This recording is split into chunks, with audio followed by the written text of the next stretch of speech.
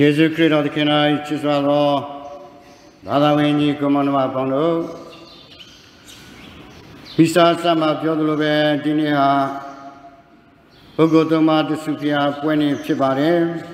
။တရားမလို့ဒီဥပုသ်တရင်စောက်တည်ဝရန်အတွက်ရောက်ရှိလာကြသောကျင့်တွေအားလုံးဟာဒီပွဲတော်မြတ်ကြီးမှာဂတိတဲ့ကြောင်းနိုင်တဲ့အတူ နောက်တော့လက်ထားဘုန်းတော်ကြီးများ brother sister များနဲ့အတူကျွန်တော်တို့တွေဒီနေ့ဘုရားရှင်ကိုဝတ်ပြုကိုးကွယ်ဝင့်ရန်ရရှိလာကြပါတယ်နောက်တော့လည်းပဲကျွန်တော်မိဆာဆမ်းမှာပြောသလိုပဲဘုရားရှင်ရဲ့ကြီးမြတ်တမှုသောကောင်းကြီးတော်ရှင်တော်ဘုရားကိုကျေးဇူးတင်ကြစို့သူသည်ကောင်းမြတ်တော်မူ၏ဆိုတဲ့ဆာလံ တခြင်းလေးကိုကျွန်တော်တို့တွေရေရွနိုင်ပါတယ်ရှင်တော်ဘုရားကိုကျေးဇူးတင်ကြစို့သူသည်ကောင်းမြတ်တော်မူ၏ကျွန်တော်အားလုံးသိကြပြီဖြစ်တဲ့အတိုင်း31ရက်မေလမှာဗာတီကန်နန်းတော်ကနေပြီးတော့ရဟန်းမကြီးပုပ်ရဟန်းမကြီးဖရန်စစ်ရခါချင်းတရားဝင်ကျင်ညာချင်းကိုကျွန်တော်တို့ကြားခဲ့ကြပါတယ် စတရားလည်းပဲဒီပသိင်္ဂေဥတနာအတွေ့ကောင်းကြီးတော့ပဲဖြစ်ပါတယ်စတိကောင်းကြီးတော်ကိုကျွန်တော်တို့တွေတူတကွမျှဝေခံစားကြပါတယ်ဒါကြောင့်မလို့ကျွန်တော်တို့ရဲ့ဆုတောင်းခြင်းနေချစွာဆုတောင်းခြင်းကိုကိုတော်ရှင်နားညောင်းတော်မူပြီးကျွန်တော်တို့ကို ကောင်းကြီးတော်ပေးခြင်းပဲဖြစ်ပါတယ်မထိုက်တန်တော့လဲကြီးမားတဲ့ဘုရားရှင်ရဲ့စီမံကိန်းတော်ကိုလှုပ်ဆောင်ဖို့ရန်စွမ်းနာမလည်နိုင်တော့လဲပဲကိုတော်ရှင်ကျွန်တော်တို့ကိုကျေးဇူးတော်ပေးပါတဲ့ယုံကြည်ပါတဲ့ယုံကြည်ခြင်း၌လက်ခံကြခြင်းပဲဖြစ်ပါတယ် ဆိုတော့ကျွန်တော်အားလုံးဒီဆက်ရပြီးတဲ့နောက်ဆူတောင်းကြရအောင်မှာဖြစ်တဲ့မနေ့ကကျွန်တော်တို့မနမအစည်းအဝေးပြုလုပ်ခဲ့ကြပါတဲ့ပွဲတော်ပြင်ဆင်ခြင်းနဲ့ကျင်းပခြင်းဆိုသတ်မှတ်ထားတာကတော့ဩဂုတ်လ25ရက်ဖြစ်ပါတယ်တရားလို့ဒီနလခွဲ3လအတွင်းမှာဆက်ပြီးတဲ့နောက်ကောင်းစွာပြင်ဆင်နိုင်အောင် နောက်တော့လည်းပဲပွဲတော်ကိုကောင်းမှုစွာကျင်းပနိုင်အောင်ဒီမှာရှိကြသောပါသူများအားလုံးဆက်လက်ပြီးတော့ဆုတောင်းပေးကြပါဒီအားဟာကျွန်တော်တို့ရဲ့ common celebration စုပေါင်း celebration ဖြစ်ပါတယ်စုပေါင်းပွဲတော်ဖြစ်ပါတယ်စဒိုင်းစစ်တစ်ခုလုံးရဲ့ပွဲတော်လည်းဖြစ်ပါတယ်စဒီယာတွေအားလုံးအတွက်ကျွန်တော်တို့ဆက်ပြီးနောက်ဆုတောင်းကြပါလို့ ပြောချချင်ပါတယ်ဆိုဒီနေ့မနေ့ဒီဩဝါဒကိုစဉ်းစားတဲ့ချိန်ခါမှာကျွန်တော်ပသိင်ဂဲဥတမနာဟာအရှင်လာကြီးမားပါတယ်သောပသိင်ဂဲဥတမနာဟာဒီအရိုင်းဒေတာကြီးမှာကြီးရှိနေလာဖြစ်တာဟာသန္ဒနာပြုတွေခေတ်ကပဲဖြစ်ပါတယ်ဘာနာဘိုက်ခေတ် နောက်တော့ပြည့်တဲ့သာသနာပြုများခေဆိုရအဲလိုနဲ့အစဉ်ဆက်ရှင်းလာခဲ့ပြီးတဲ့နောက်မှာ1955ခုနှစ်မှာဗာတီကန်ရုံးတော်ကနေပြီးတဲ့နောက်ပသိင်္ဂေဥတာတနာတိတန့်နော်ဒိုင်းစစ်တစ်ခုဖြစ်လာရေးအတွက်သတ်မှတ်ပြလိုက်ပါတယ်ဆိုရင်တော့ရန်ကုန် Archdiocese ဘုလို့ရှင်လည်းပဲရန်ကုန် ဗီကာရီမှာကျွန်တော်တို့ပါခဲ့ပါတယ်သို့တော်လည်းပဲ1955ခုနှစ်မှာကျွန်တော်ပသိင်ဂန်ယုသာသနာရန်ကုန် Archdiocese ကနေကျွန်တော်တို့ခွဲထွက်လာပါတယ်စပထမဦးဆုံးတိုးရင်းဆရာတော်ဟာဘိရှော့ကျော်ဦးကျော်ဖြစ်ပါတယ်ဆိုပြီးတော့ကျော်ဦးကျော် 1955ဆိုတဲ့ခေတ်ကဆိုမြန်မာနိုင်ငံရဲ့အခင်းကျင်းမှာပါလီမန်ဒီမိုကရေစီခေတ်ဖြစ်ပါတယ်။စာအုပ်လူဝန်ကြီးချုပ်ဖြစ်တဲ့ခေတ်ဖြစ်ပါတယ်။ကျရိယာရင်းဒေတာကြီးမှာမငြိမ်သက်ပါဘူး။ကျွန်တော်တို့ရဲ့ခင်ဒေါ်လာရဲ့ကောတူလေးစရိယာချင်းပေါ့နော်။ရှိနေခဲ့တဲ့အချိန် ဘဂဗတ်ရရှိနေခဲ့တဲ့အချိန်ဆိုအဲ့လိုမျိုးခင်းချင်းမှာအဘဆရာတော်ကြာဦးကျော်ဟာသာသနာလုပ်ငန်းကိုစတင်ခဲ့ပါတယ်ပထမဦးဆုံးသောပဋိငယ်ဥသာသနာဆရာတော်ဖြစ်ဆိုရလိုနဲ့သူလှုပ်ဆောင်လာခဲ့တဲ့အရာတွေဟာ1968ခုနှစ်နိုဝင်ဘာလတာကျော်ခွင်းမှာ နိုဝင်ဘာလနေတဲ့ရင်းနဲ့သူပြောင်းလဲတော်မူခဲ့ပါတယ်12နှစ်ကြာဆိုတော့69ခုနှစ်ဆိုတာဟာ60နှစ်ကိုကြော်ဖြတ်ပြီးမှ69နှစ်ခုနှစ်ကိုရရောက်တာဖြစ်ပါတယ်60နှစ်ဆိုတာဟာအားလုံးသိကြပါတယ်65ခုနှစ်မှာကျွန်တော်ဒီစင်ဂျိုးဆက်သာတင်ကျောင်းကြီး ပါသွားပါတယ်ဆိုတော့အဲ့လိုမျိုးရုန်းကန်မှုအဲ့ဒီလိုမျိုးစိန်ခေါ်မှုတွေကြားမှာပြီးလျှော့ကြောက်ဦးကျော်လှုပ်ဆောင်သွားခဲ့ပါတယ်တကယ်တော့သူဟာငငယ်ရွယ်နဲ့ဖျားရှင်ပြန်လဲတဲ့သိမ့်ပိုက်သွားခဲ့ပါတယ်ဆွဲလူနဲ့သူ့နေရာကိုဆက်ခံဖို့အတွက်ဘီရှော့ဂျိုးဆက်မန်ဂရီ1968မှာ သူတာဝန်ထမ်းဆောင်ပါတယ်ဆိုတော့68ကလည်းပဲလွယ်ကူတဲ့ခေတ်ကာလတော့မဟုတ်ဘူးဆိုဒီမှာရှိကြတဲ့နောက်လူကြီးမိဘများတွေသိကြပါတဲ့ဆိုဘယ်လိုပဲဖြစ်ဖြစ်68ကနေ1982ခုနှစ်အထိဆိုတော့ဘီရှာဂျိုဇက်မိုင်ရီလှုပ်ဆောင်ခဲ့ပါတယ်1982ခုနှစ် Father Philip Sowin တို့ Bishop John တို့ကားတဲ့အန်ဆယ်မောင်မောင်တို့ကိုတိတ်ခါတင်ပေးပြီးနောက်ဂျွန်လာမှာသူနာယူပါတယ်တကယ်တော့ဘိရှော့ဂျိုဇက်မန်အေရီနာယူတဲ့အချိန်ဟာပြောရမယ်ဆိုရင်ခေတ်စကားနဲ့ပြောရမယ်ဆိုငငယ်ရွယ်ရွယ်ပဲရှိပါသေးတယ်ဒါ60မပြည့်သေးပါဘူး ဆိုဘယ်လိုပဲဖြစ်ဖြစ်ကျမ်းမာရေးအခြေအနေတစ်ခုကြောင့်သူနာခဲ့ပါတယ်ဆွဲလို့နဲ့ကျွန်တော်ပင်ငယ်ဥတနာ1982ခုနှစ်ကနေ85ခုနှစ်အထိဘီရှော့မရှိပါဘူးဆိုတော့ကျွန်တော်တို့ရဲ့ပတင်သာဟာ vacant vacancy ဖြစ်ခဲ့ပါတယ်ဆိုရင်ချိန်ကမှာပတင်သာသနာကိုဥဆောင်ဖို့ရန်အတွက် Father JB Sequira တာဝန်ယူခဲ့ပါတယ်သူပဲ Diocese Administrator နဲ့ဖြစ်လာပြီးတဲ့နောက်1985ခုနှစ်မှာသူပသိဆရာတော်ဖြစ်လာပါတယ်ဆိုတော့ এই ချိန်ကမှာဘိရှော့ဆီဂရာအသက်68နှစ်ရှိပါပြီဆိုဘယ်လိုပဲဖြစ်ဖြစ်နော်ဗာတီကန်ရုံးတော်ကသူ့ကိုခန့်ရတဲ့အချိန်ခါမှာသူသိက္ခာခံယူခဲ့ပြီးတဲ့နောက် ပသိသာသနာကိုဥဆောင်သွားခဲ့ပါတယ်ဆိုတော့အဲ့ဒီချိန်ကမှာပဲ1988ခုနှစ်မှာ Bishop John Gabriel Auxiliary Bishop အကူ Bishop ဖြစ်လာပါတယ်ဆိုတော့အကူ Bishop ဆိုတာကအသက်ကြီးနေပြီဖြစ်တဲ့ Bishop Shigura ကိုထောက်ကူပြုဖို့ဖြစ်တယ်ဆိုတော့ဒီလိုနဲ့ Bishop Shigura ဟာ1992ခုနှစ်မှာတက်ပြစ်နားရပါတယ် ဆိုတော့တက်ပြစ်နားသွားတဲ့အချိန်ခါမှာ Bishop John Gabriel ဟာ local ordinary ဖြစ်လာတဲ့ local ordinary ဆိုတာက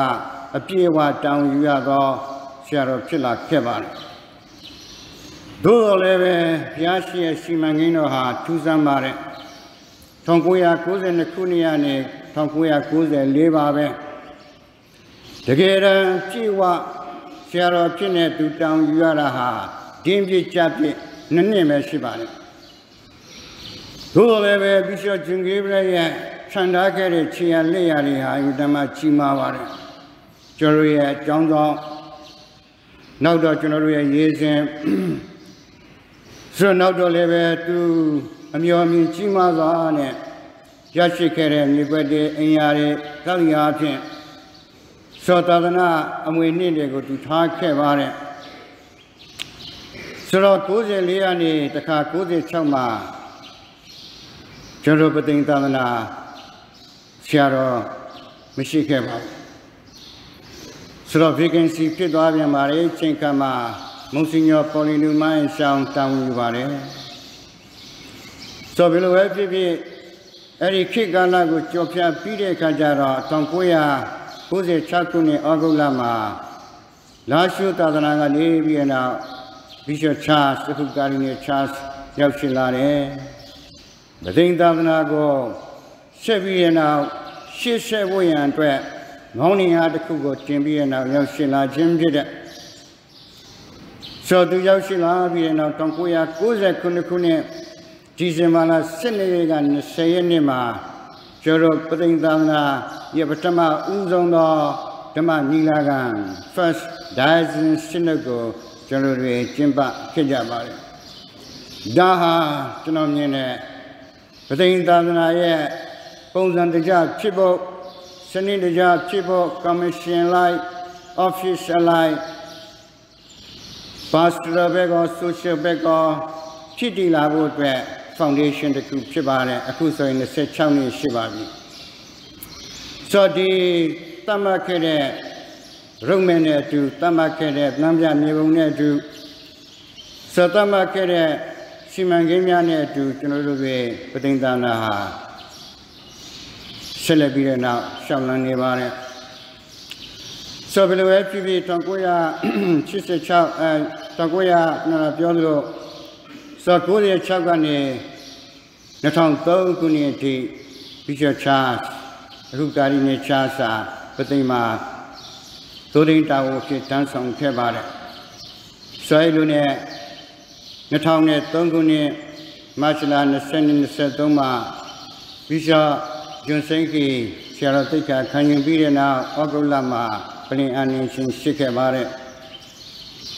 ဆရာပြီးတဲ့နောက်မှာဘိချက်ကြောင့်2003ခုနှစ်ကစပြီးတဲ့နောက်2021ခုနှစ်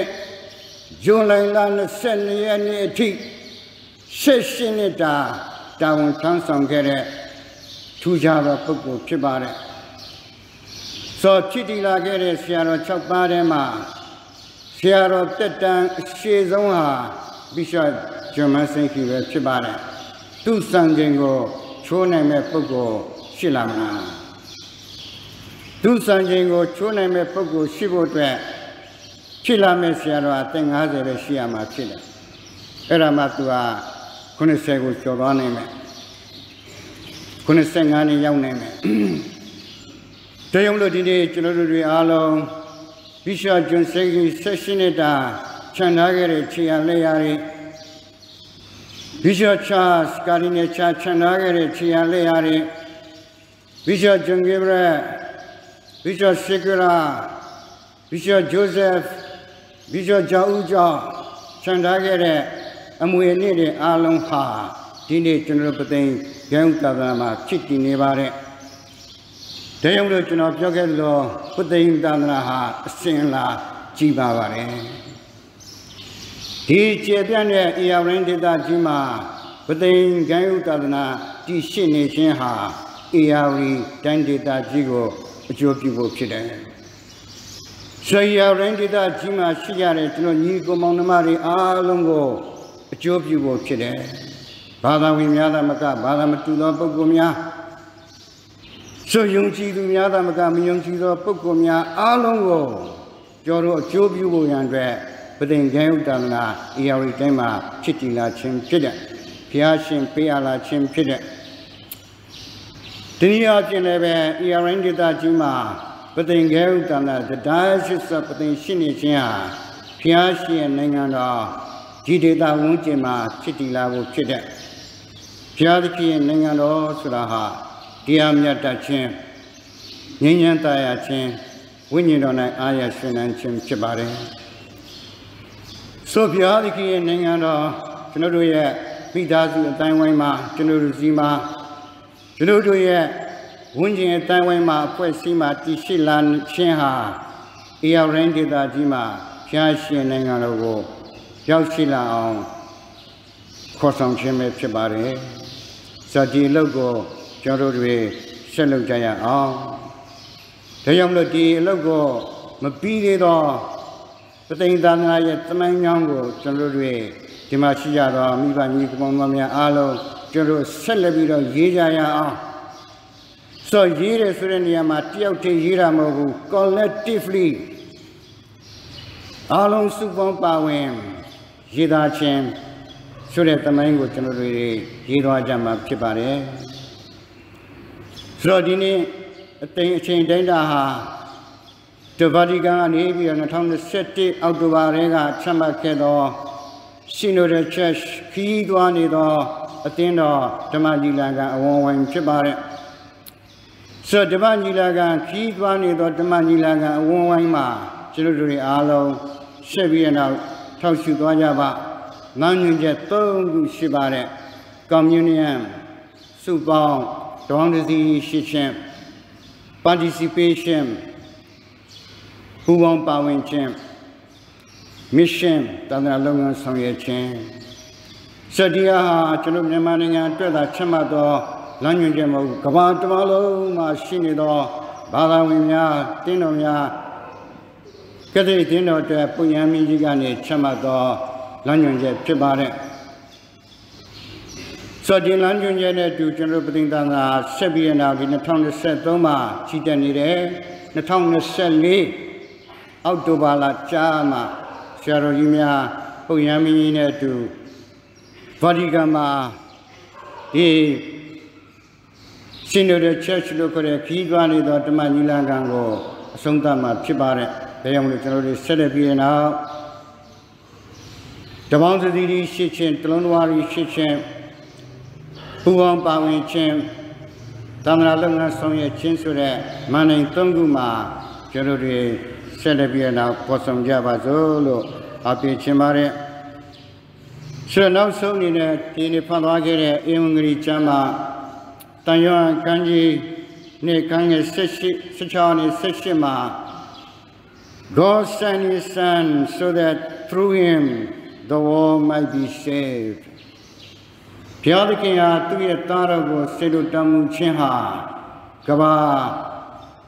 လောကသားတွေကယ်တင်ဖို့ရန်အတွက်ဖြစ်တယ်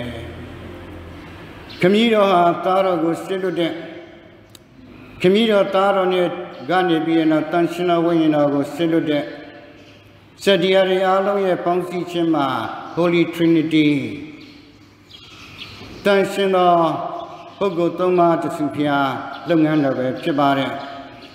ဆယ်ရီမှာကျွန်တော်မြင်ရမယ့်အရာကစီလုံးညီညွတ်ခြင်းတပေါင်းတစည်းလေးရှိခြင်းပူးပေါင်းပါဝင်ခြင်း participation mission တန်ခါလုပ်ငန်းလုပ်ဆောင်ခြင်းဖြစ်တဲ့ဒါကြောင့်လို့ကျွန်တော်တို့အားလုံးဒီတန်ခါလုပ်ငန်းဆောင်ရွက်တဲ့နေရာမှာဒီ Holy Trinity ရဲ့ပေါင်းစည်းမှု Holy Trinity ရဲ့ inspiration Holy Trinity ရဲ့အ လန်းညွန်ချက်နော်ဖော်ပြချက်အတိုင်းကျွန်တော်တို့တွေဖြစ်သွားကြရမှာဖြစ်ပါတယ်နောက်တော့လည်းပဲခမည်းတော်အားသားတော်ကိုစစ်လွတ်တဲ့ခမည်းတော်သားတော်ကနေပြီးတော့တန်ရှင်တော်ဝိညာဉ်တော်ထွက်ပေါ်လာတဲ့အဲ့ဒါပြီးရင်တော့တမန်တော်ကြီးကနေဆင်းဆင်း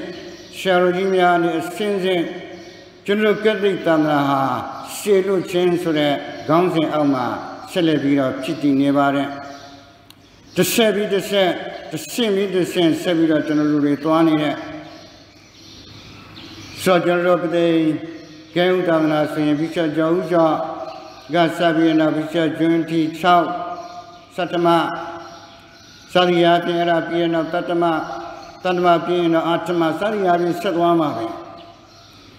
စတိယာတွေဟာအသင်းတော်ရဲ့စိတ်လူချင်းဖြစ်တယ် ခမည်းတော်သားတော်ကိုစစ်လွတ်တဲ့သားတော်ဟာတမန်တော်ကြီးတွေကိုစစ်လွတ်တဲ့တမန်တော်ကြီးတွေအရှင်ရှင် apostolic church apostolic succession တမန်တော်ကြီးအရှင်ရှင်ဆက်ပြီးနောက်စစ်လွတ်တော်မူသောအသင်းတော်ဖြစ်ပါတယ်ဆိုတော့ကျွန်တော်တို့ကက်သလစ်အသင်းတော်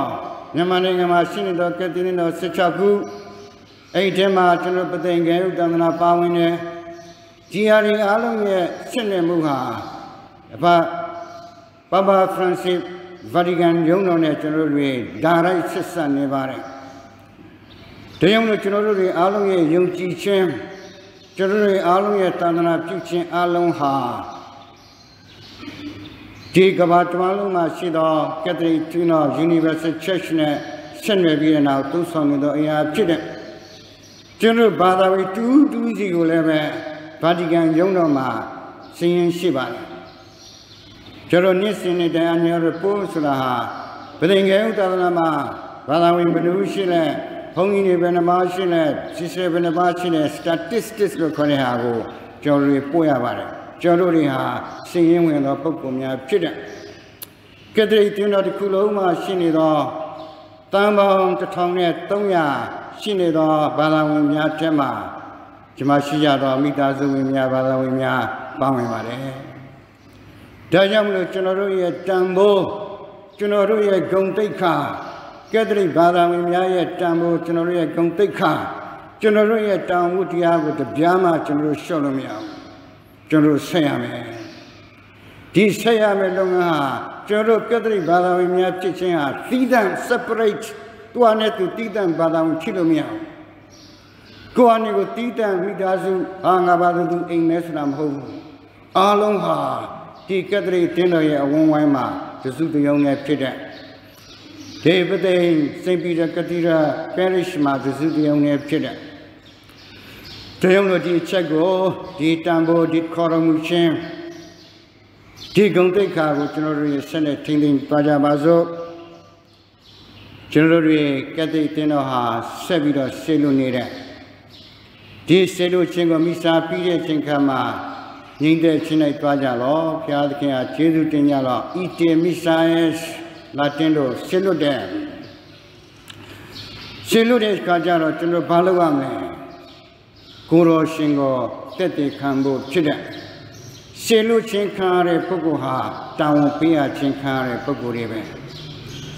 ကျွန်တော်တွေအားလုံးဟာမိစ္ဆာပြီးတိုင်းပြီးတိုင်းမှာဆေလူချင်းခါရတ ယ်ဆေလူချင်းခါတဲ့ပုဂ္ဂိုလ်တွေတူးတူးစီမှာပခုံးပေါ်မှာရောက်လာတဲ့တောင်းဟာကိုတော်ရှင်ကိုတက်တက်ခံဖို့ကိုတော်ရှင်ကိုနှုတ်အားဖြစ်လာမဟုတ်ဘဲနဲ့မကဘဲနဲ့မိမိရဲ့ဘဝတက်တာကက်သလစ်ဘာသာဝင်ဖြစ်ခြင်းရဲ့ဂုဏ်တိတ်ခါကက်သလစ်ဘာသာဝင်ဖြစ်ခြင်းရဲ့တန်ဖိုးကိုတပားသူတွေကိုဖော်ပြဖို့ဖြစ်တယ်ဒါကြောင့်လို့နောက်ဆုံးအနေနဲ့ကျွန်တော်ရဲ့ statement က အေယာရင်းဒေတာကြီးမှာကျွန်တော်ပသိင်ကဲဥဒနာတည်ရှိနေခြင်းဟာအေယာရင်းဒေတာကြီးကိုအကျိုးပြုဖို့ဖြစ်တယ်။အရှိခံဖို့ဖြစ်တယ်။ဘုရားရှင်နိုင်ငံတော်ဤနေရာဤဒေတာဝန်းကျင်မှာရောက်ရှိလာဖို့ဖြစ်တယ်။ဘုရားရှင်နိုင်ငံတော်ဆိုတာဟာတရားမြတ်တတ်ခြင်းဓမ္မပဲ။ငြိမ်းချမ်းသာယာခြင်း peace ဝိညာဉ်တော်၌အာရရှင်နှံခြင်း joy အာရရှင်နှံခြင်းဖြစ်ပါတယ်အဲ့ဒါကိုကျွန်တော်တို့တွေဆက်လက်ပြီးတော့ဖော်ဆောင်ကြပါစို့